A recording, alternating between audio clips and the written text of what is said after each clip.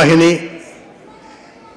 రాష్ట్ర జానపద కళాకారుల సంఘం మా సత్కళాభారతి సంయుక్త నిర్వహణలో ఈనాడు డాక్టర్ కెవి రమణ గారి డెబ్భై రెండవ పుట్టినరోజు పండుగ జరుపుకుంటున్న ఈ శుభ సందర్భంలో వచ్చేసిన కళాకారులకు కళా పోషకులకు సంస్థల అధినేతలకు రసజ్ఞులైన ప్రేక్షమహులందరికీ స్వాగతం.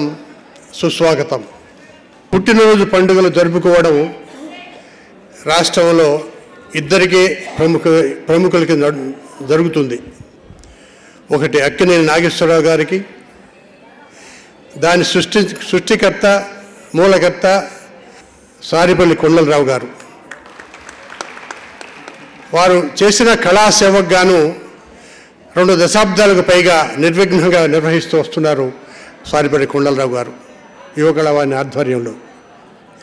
అలాగే వారి స్ఫూర్తితోనే మేము డాక్టర్ కెవి రమణ గారి పుట్టినరోజు పండుగలు దశాబ్దం పైగా మేము నిర్వహిస్తూ వస్తున్నాము. సత్కళాభారతి తరఫున. తర్వాత సోదర సంస్థలు కూడా కొన్ని చేస్తూ వస్తున్నారు. చాలా సంతోషం. పుట్టినరోజు పండుగలు ఎందుకు వీరికే జరగాలి అంటే ప్రభుత్వ పరంగా జరుగుతున్నాయి కొన్ని ఉన్నాయి. కానీ ప్రత్యేకంగా జరిగే ఇద్దరికి ఎందుకు అంటే కళారంగంలో ఎంతో సేవ చేసిన వారు నాగేశ్వరరావు గారు. మరి డాక్టర్ కేవి రమణ గారు. పువ్వు పుట్టగానే పరిమళిస్తుందని అనడానికి నిదర్శనం డాక్టర్ కేవి రమణ గారు. వారు విద్యార్థి దశలోనే క్లాస్ ఫస్ట్ వస్తుండు మెరిట్ స్టూడెంట్గా వస్తూ ఉండు వస్తూ రాష్ట్ర స్థాయి వ్యక్తిత్వ పోటీలలో ఇక్కడ జరిపిన హైదరాబాద్లో జరిపిన పోటీలకు గాను సిద్దిపేట నుంచి వచ్చి రాష్ట్ర ప్రథముడిగా నిలిచారు సెవెంటీస్లో ఫస్ట్లో కుర్రవాడిగా ఉన్నప్పటి నుంచి. ఆనాటి నుంచి తన విద్వత్తుని పెంచుకుంటూ సమాజ సేవని పంచుకుంటూ ఒక ప్రభుత్వ ఉద్యోగిగా ఉంటూ ఆనాడు సెవెంటీస్లో రేషన్ కార్డు కోసం సామాన్యుడు పడే బాధలను ప్రత్యక్షంగా చూసి ఇదేంటి ఇంతమంది ప్రభుత్వాలు సేవ చేస్తున్నాయి కదా ప్రజల కోసమే కదా? కానీ ప్రభుత్వాలు ఇంత అలసత్వంగా ఎందుకుంటున్నాయో అర్థం కాక ఈ కష్టాలు తీరాలంటే నేను తవర ఒక కలెక్టర్ కావాలి అనే సంకల్ప బలంతో ఆనాడే ముందడుగు వేసి కలెక్టర్ అయ్యి మొట్టమొదటిసారిగా నారాయణ పేరు మహబూబ్నగర్ డిస్ట్రిక్ట్ ఎంఆర్ఓగా వెళ్ళారు. ఆ ఊర్లో ఎంఆర్ఓ అంటే ఎవరు? ఈ ఆఫీసర్ ఎవరు? ఉంటారా ఇక్కడ? వారు ఎట్లా ఉంటారో? తెలియనికపోయినా కొత్తగా పెళ్ళైన అమ్మను తీసుకుని వెళ్ళి అక్కడ ఊళ్ళో ఉంటూ సెవెంటీస్లో ఊళ్ళు ఎలా ఉంటాయో మీకు తెలిసి చెప్పక్కర్లేదు. అలా ఉంటూ ప్రజలలో ఒకటిగా మమేకమైపోయి వాళ్ళ సాధక బాధకాలు.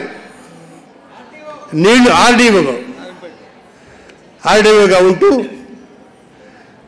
సాధక బాధకాలు మంచినీళ్ళు ఉండక రోడ్లు బాగులేక ఎలక్ట్రిసిటీ లేక ఆ బాధలను అనుభవిస్తూ ఆ ప్రజలకి ఆ- ఊళ్ళో అన్ని సౌకర్యాలు సమకూర్చి పెట్టిన వారు మొట్టమొదటిసారిగా రమణ గారు.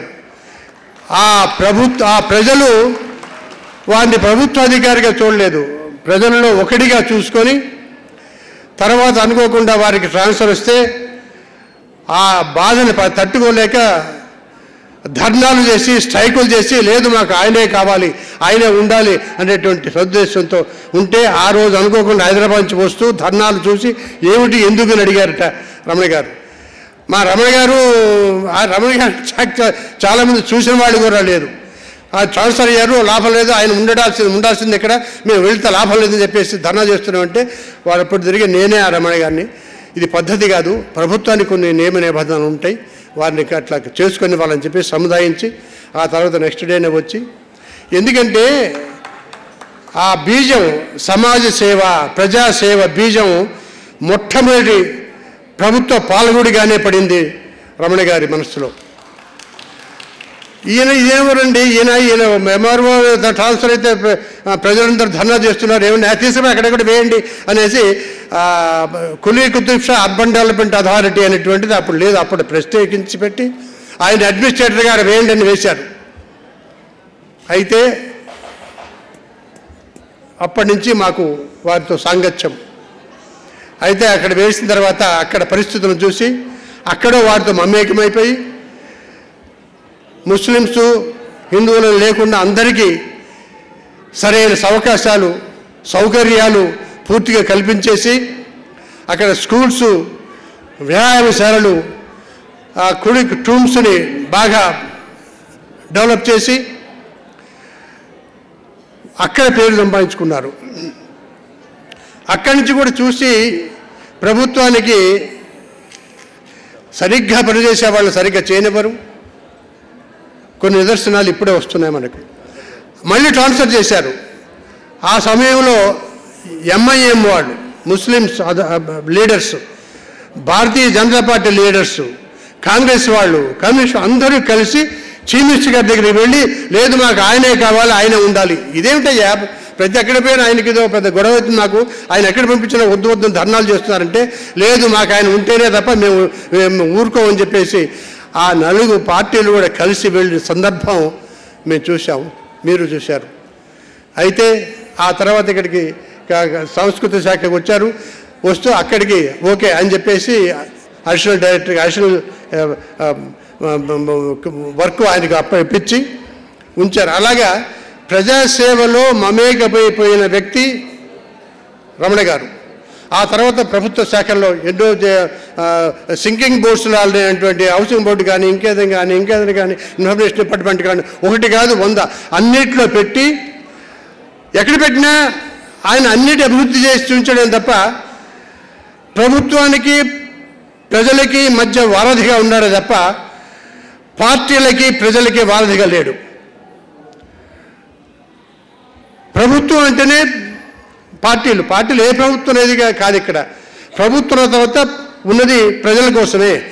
ప్రజలకి సేవ చేయాలని అనేటువంటి సేవ దుంధరుడిగా ఆయన మొదటి నుంచి సేవ చేస్తూ వచ్చాడు. ఎన్నో అందరు ప్రతి చీఫ్ మినిస్టర్ ఏ ప్రైమ్ మినిస్టర్ కూడాను మా రమణ మా రమణ అని చెప్పేసి అక్కడ చేర్చుకున్నారు. మొదటి నుంచి కూడా నిన్నేళ్ళుగా. ఎన్నో డిపార్ట్మెంట్ చేశారు. ఈవో టీటీడీగా చేశారు. అక్కడ ఎనలేని ఖ్యాతి సంపాదించారు. ఇలాంటి మనిషికి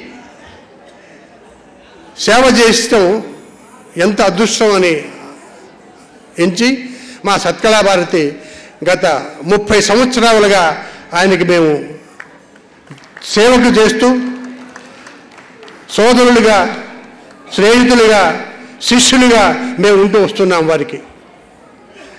ఎందుకంటే అటువంటి వారికి సేవ చేస్తే వారి వల్ల ఎంతోమంది లాభపడతారు. కళాకారులు కళా సంస్థలు ఈ రోజు నిజంగా నిలబడ్డాయంటే మూడు దశాబ్దాలుగా ఆయన చేస్తున్న సేవ ప్రజాసేవ కళాకారులు నిలబడ్డారు సంస్థలు నిలబడ్డాయి. ఎన్నో వాళ్ళు నిలబడ్డారు just because of doctor K V Ramana garu. అందుకనే ఆయన పుట్టినరోజు మేము చేసుకుంటున్నాం. అందుకే మేము పుట్టిన చేసుకుంటున్నాం.